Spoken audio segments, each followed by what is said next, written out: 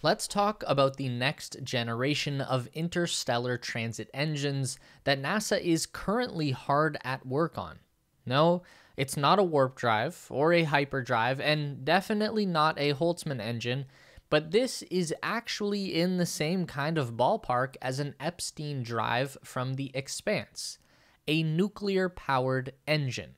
We recently learned two very exciting things from NASA's Artemis program roadmap that outlines their plan to expand crewed missions from the moon to Mars and beyond. For one, NASA is planning to build a giant interplanetary spaceship called a Transit Hab. And two, they are going to demonstrate a nuclear propulsion system as part of their operations on and around the moon.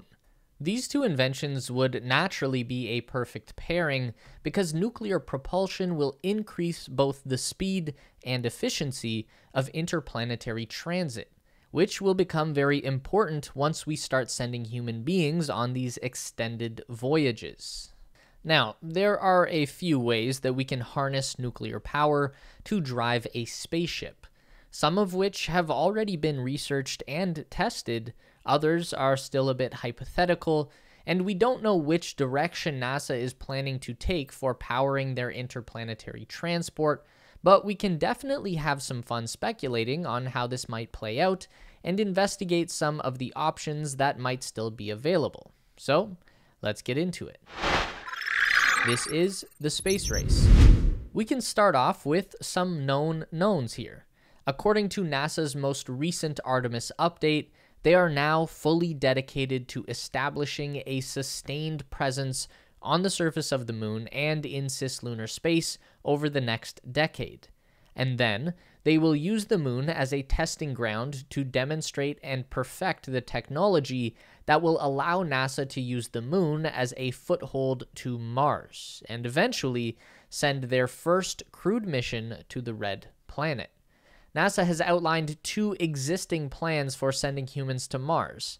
Their first mission would be a short duration, obviously, and then there is also an idea for a long duration mission to Mars. For the short stay mission, the outbound period will last 217 days and utilize a gravitational assist around the planet Venus to boost the spacecraft on its way. The stay on Mars will last for 30 days, and the return trip will be a grueling 403 days in deep space. All that adds up to a mission duration of 650 days. For the long stay mission, the outbound period will be 210 days on a direct course from Earth to Mars. No gravitational boost required. The stay on Mars in this scenario will be 496 days, and then the return window is shortened to 210 days because the crew will be taking advantage of an ideal transfer window. That adds up to a staggering 916 days away from Earth and all of the protection that it offers. As it stands, there are two major foreseeable problems with these mission outlines. Firstly, we have no idea if the human mind can stand up to such an extended period of isolation and confinement while hurtling through deep space. Can a crew of four people hold it together for two years? And secondly, and most concerningly, we have no idea what effect this prolonged exposure to deep space will have on their bodies. There is a lot of radiation in space. We're protected from it here on Earth by the planet's magnetic field, and that also protects the people on board the International Space Station as well. But anything outside of that magnetosphere is fully exposed. Most of the radiation in space is coming from galactic cosmic rays. These are charged particles that are blasted through space at tremendous speed by the supernova explosions of dying stars. It sounds cool, but you don't want that in your life.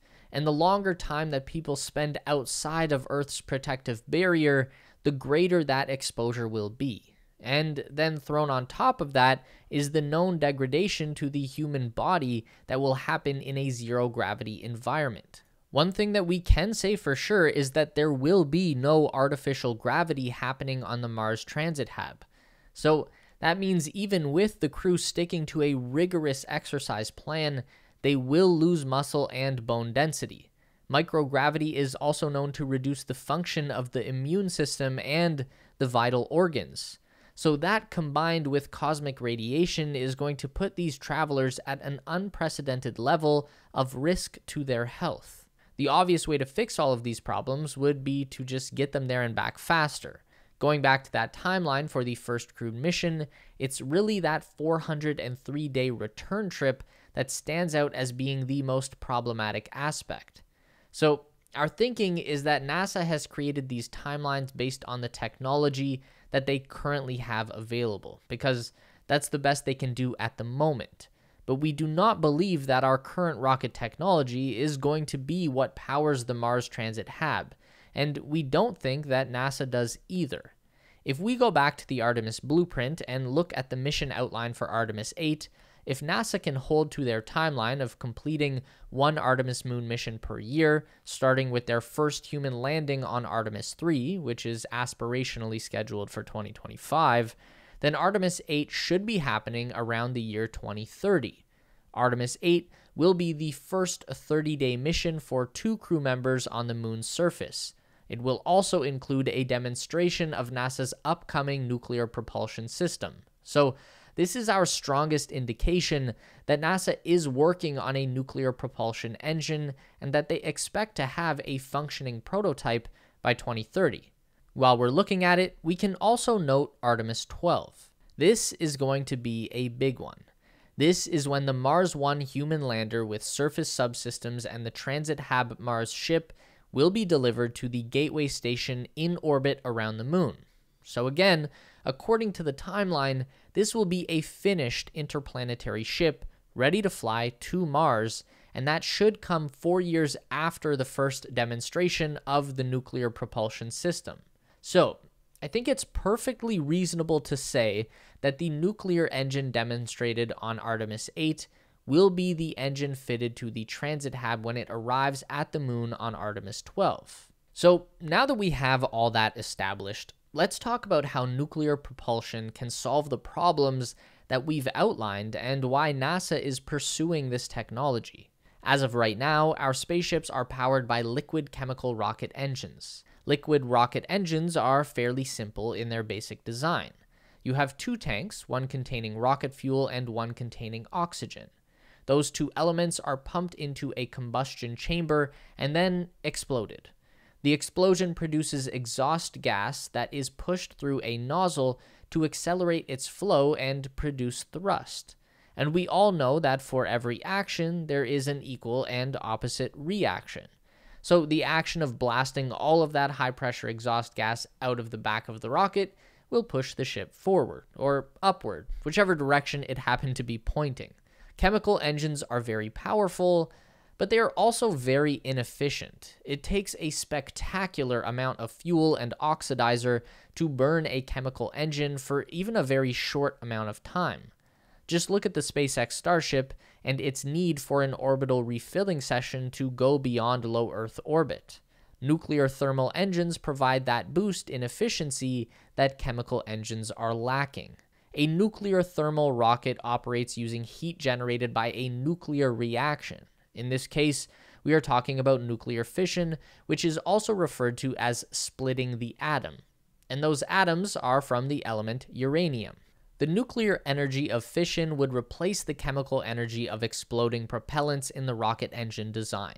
We still need a working fluid of low molecular weight that will create the exhaust gas that will flow through the nozzle and create thrust. In this case, that will be liquid hydrogen. The hydrogen is fed into the nuclear reactor where the extreme heat causes that liquid to readily expand into a gas, which is then pushed through the nozzle and creates thrust. This process, using hydrogen, allows for the nuclear thermal engine to reach twice the efficiency of a chemical engine, meaning it can sustain the same amount of energy for double the amount of time. Now we're already talking about cutting that Mars transit time in half and therefore having the stress of the crew's minds and bodies, and also having their exposure to cosmic radiation. This is a very good thing. Though it does come with a downside, and that is the hydrogen fuel. For this process to work, the hydrogen must remain in a liquid state, and that means holding it at a super chilled cryogenic temperature. That takes some engineering, but it should be possible. The other problem with hydrogen is that the atoms can actually move through solid material, so the hydrogen can very slowly escape the storage tank just by moving through the walls. This is only a problem for long duration storage, but if we're looking at a thousand days or more for a long duration Mars mission, it could be problematic. But interestingly, hydrogen is the only element that would work effectively in a nuclear thermal engine as we know it. Hydrogen has the lowest molecular weight of all known elements, and the lower the mass of your engine's exhaust gas is, the higher the velocity of that exhaust will be. And remember the equal and opposite reaction. The faster the gas comes blasting out of the back, the faster the ship will be propelled forward. The next lightest element we have would be helium, but it's still twice the weight of hydrogen and therefore would only produce half the amount of thrust, and that would actually negate any advantage of a nuclear engine because it would be back down to the same efficiency as chemical combustion. This is the kind of nuclear propulsion engine that we would expect NASA to be working on because we know it is a design that they have already built and even tested in the past. We know that it works. Back in the 1960s, there was a NASA program called Nuclear Engine for Rocket Vehicle Application, or NERVA. Under the direction of Nazi rocket scientist Wernher von Braun, the agency actually constructed a low thrust thermodynamic nuclear rocket engine and tested it at a secret facility in Jackass Flats, Nevada. Von Braun's dream was to use nuclear power to expand the Apollo program to Mars in the 1970s and 80s. The project was fairly short lived, and President Nixon killed their funding by 1973, and the money ended up going into the Space Shuttle program, which was probably for the best because firing a nuclear rocket engine anywhere near the Earth's atmosphere, let alone inside the atmosphere, is not very smart obviously. And this would be a great reason why NASA intends to test their new generation of nuclear thermal propulsion out in cislunar space, which is well beyond the reach of Earth's magnetic field. The moon is already bombarded by those cosmic rays that we talked about earlier. The moon is radioactive as hell, and you can't really make it any worse. In the summer of 2021, NASA was finally granted $110 million in funding to advance development of a new nuclear rocket suitable for sending cargo and crew on interplanetary voyages. Finally, NASA would resume work that had been left on the shelf for nearly 50 years. NASA and the U.S. Department of Energy have teamed up to fund three design concepts for reactors that could become part of a nuclear thermal propulsion system. Each contract is worth around $5 million and will fund 12 months of development work. That means that as of June 2022, we are only a couple of months away from seeing the results of this work. And we haven't even gotten to the more speculative varieties of nuclear propulsion technology that are sustained fusion drives, saltwater nuclear engines, nuclear pulse propulsion. For some reason, I thought these would all fit into this video, but this is already getting long in the tooth, so that might be a topic for another video. Please let us know in the comments section if you would be interested in an overview of some more speculative nuclear propulsion technologies. Meet us back here every week for more updates on everything aerospace industry and interstellar exploration related. Make sure to give the video a thumbs up today if you liked it. That really helps us out for real. And subscribe to the Space Race for more videos just like this. We do one long form essay and one news update every week. And if you'd like more, we've got two more on the screen for you right now.